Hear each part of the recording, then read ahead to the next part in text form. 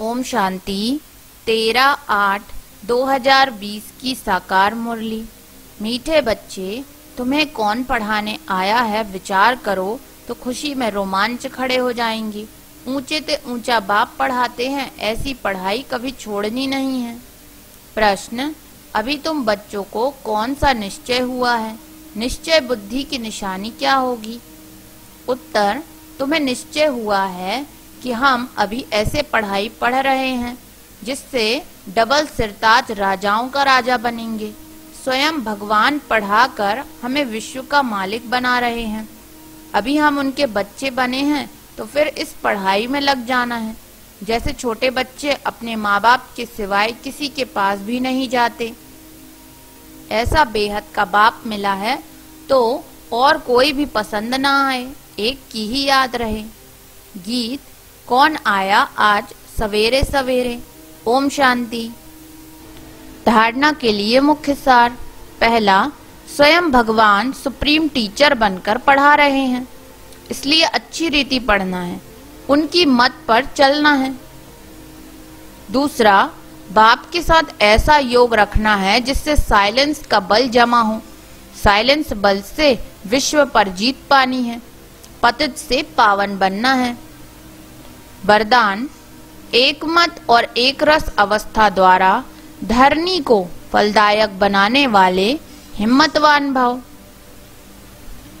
जब आप बच्चे हिम्मतवान बनकर संगठन में एक मत और एक रस अवस्था में रहते व एक ही कार्य में लग जाते हो तो स्वयं भी सदा प्रफुल्लित रहते और धरनी को भी फलदायक बनाते हो। जैसे आजकल साइंस द्वारा अभी अभी बीज डाला अभी अभी फल मिला। ऐसे ही साइलेंस के बल से सहज और तीव्र गति से प्रत्यक्षता देखेंगे। जब स्वयं निर्विघ्न एक बाप की लग्न में मग्न, एकमत और एक रस रहेंगे तो अन्य आत्माएँ भी स्वतः सहयोगी बनेंगी और धरनी फलदायक हो जाएगी। स्लोगन, जो अभिमान को शान समझ लेते, वह निर्माण नहीं रह सकते। ओम शांति।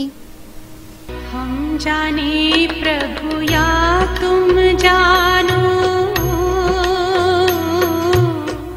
हम जाने प्रभु या तुम जानो। हमें तुमसे है कितना प्यार। तुम ही जिगर में तुम ही नज़र में। तुम ही जिगर में, तुम ही नज़र में। हो तुम ही मेरा संसार। हम जाने प्रभु या तुम जानो।